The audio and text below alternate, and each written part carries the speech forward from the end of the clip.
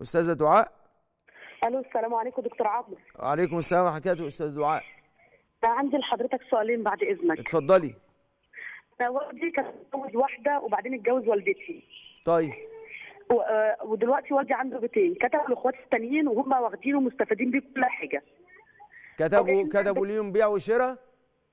مستفيدين بيه وقاعدين وبياخدوا إيجار وكل حاجة. طيب والدك مازال مازال موجود الحمد لله؟ على قيد الحياة على قيد الحياة عنده 89 سنة. طيب. ودلوقتي إحنا عندنا بيت تاني. والدي قاعد معانا إحنا بقى يعني مش قاعد مع أخواتي التانيين قاعد معانا. طيب فين السؤال؟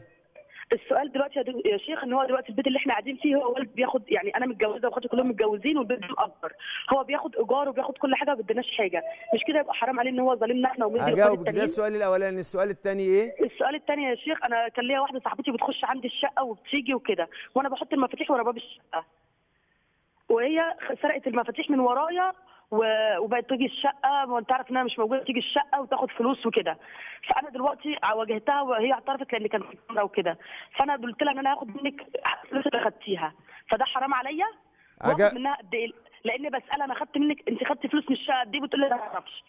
وأنا ما أعرفش قد إيه. فأنا دلوقتي واخد منها 30000 إن أنا ما أعرفش في الشقه كانت إيه لأن أنا بعمل جمعيات يا شيخ. طيب. وهي سرقت الفلوس دي. هجاوب حضرتك. عليا وأنا مش قادرة أكلمها ومخصماها وكده. حرام برضو عليا يا شيخ. هجاوب حضرتك. أنت كده بقى أربع أسئلة. هجاوب السؤال الأولاني.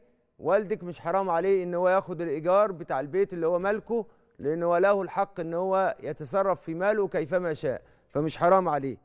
الأمر الثاني حضرتك بتقولي الست اللي خدت منك المال بنقدر المال ده وناخد منها المال اللي هي تستطيع إن هي آه، تتذكر إن هي خدته.